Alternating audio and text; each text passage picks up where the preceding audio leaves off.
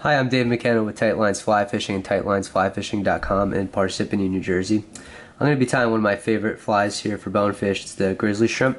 It's really a good shallow water fly for uh, when the bonefish are spooky or feeding in real shallow water. So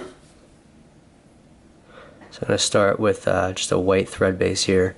Uh, we're not going to use lead eyes on this. You can if you want to make it a little heavier, uh, but it works really well with some lead tape or Zonker tape tied to the bottom of the hook shank. Keeps it nice and quiet. You don't want to be casting a fly, it's too heavy in uh, shallow water. So I've taken some match stick lead here and just uh, folded it over heaviest part uh, towards the front of the hook.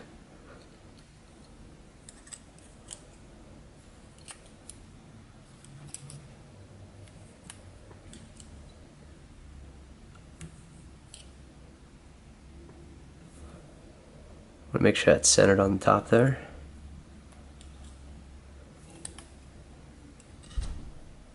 When we spread the weight out like this, it uh, allows us to not use those heavy eyes. Just want to cover that up good.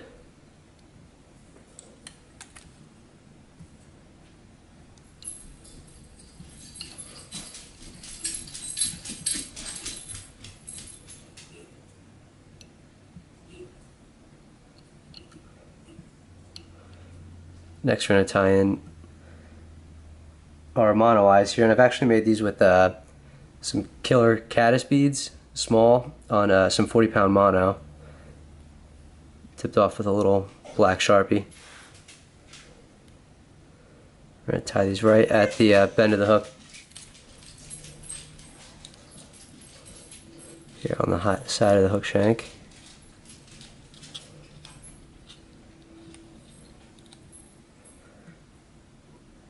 Trim that mono down. Using clippers for this because you don't want to use your good your good scissors.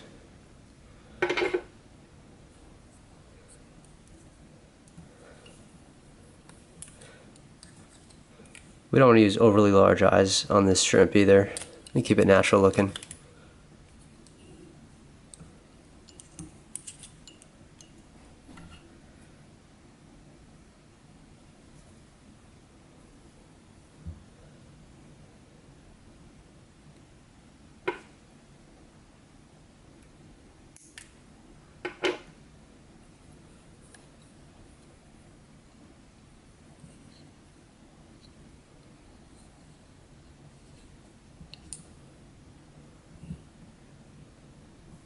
It's nice and even.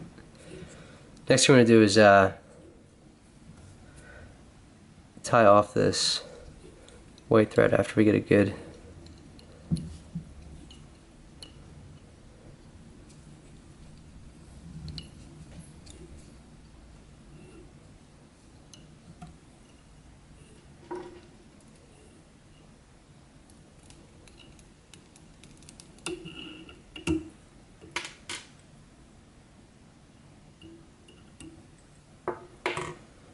I'm going to reverse that.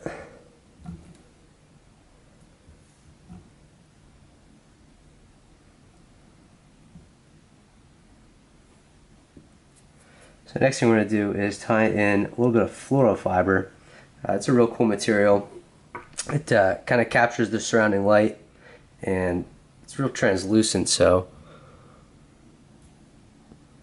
it imitates these uh, small shrimp that the bonefish are feeding on pretty well.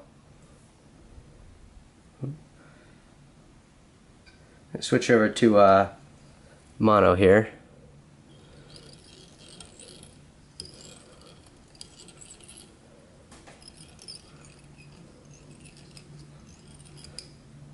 The mono gives it a nice glassy translucent look that we're kind of going for. So we don't want this to extend too far past the bend of the hook. This is a smaller pattern.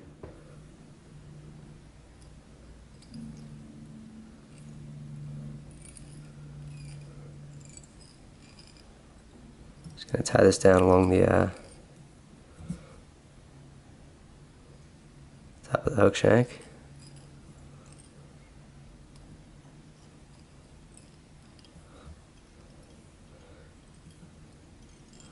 Two thirds of the way down.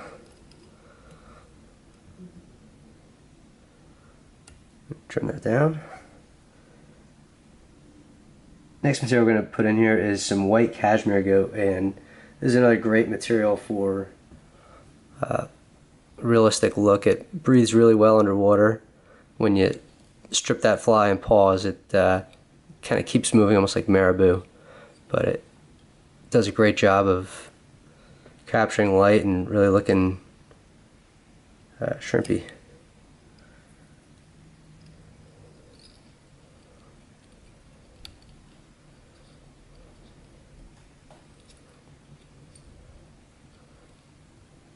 Tie it down about halfway down the hook shank.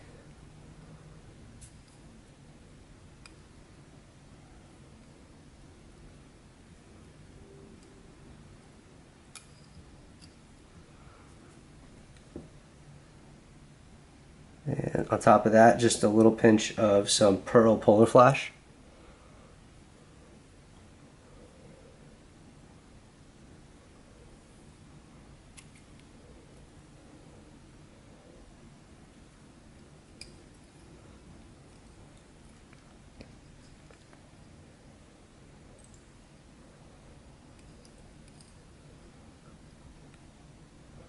tie it down about a third of the way, kind of stacking these materials here.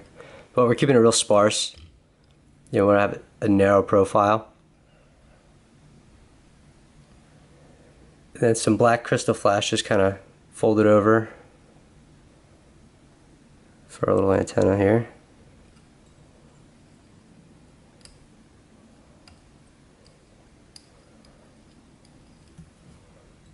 Center those right onto the back.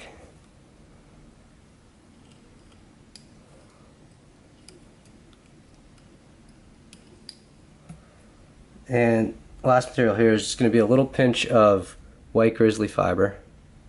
It's a nice little barbed material, it gives it a real cool translucent look and matches the natural shrimp real well. You can tie this in olive, this one you know is, is white.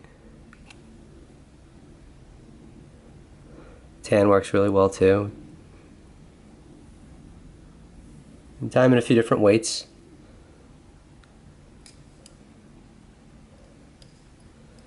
You can tie this in sizes you know, 10 through 4.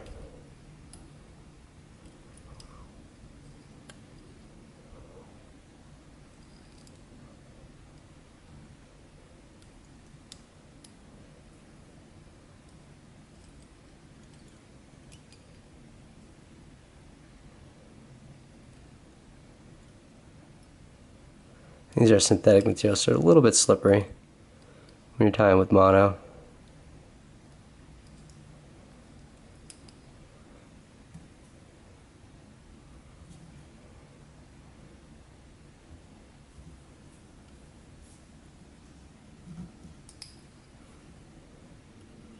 Just clean up that head here.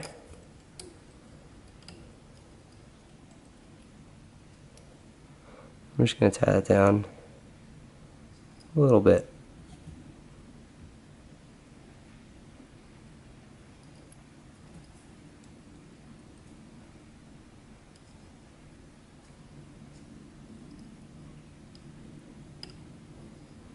Build a nice little head. And wet finish it. Then we're going to finish this off with some Loon Hardhead Clear. And it's real important that you use a water-based cement like this. You don't want to use any epoxy or uh, CA glues to finish these flies.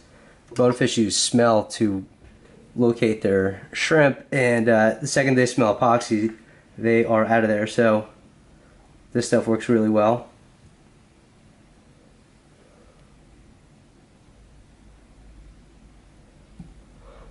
A little bit of that, keep everything in place. And that's the grizzly shrimp. Uh, thanks for watching the video. If you have any questions, feel free to give us a call at the shop, stop by, or drop us an email. We're always glad to help. Uh, all the materials that I used for this should be listed below. Um, so if you have any questions, give us a call. Uh, good luck and thanks for watching.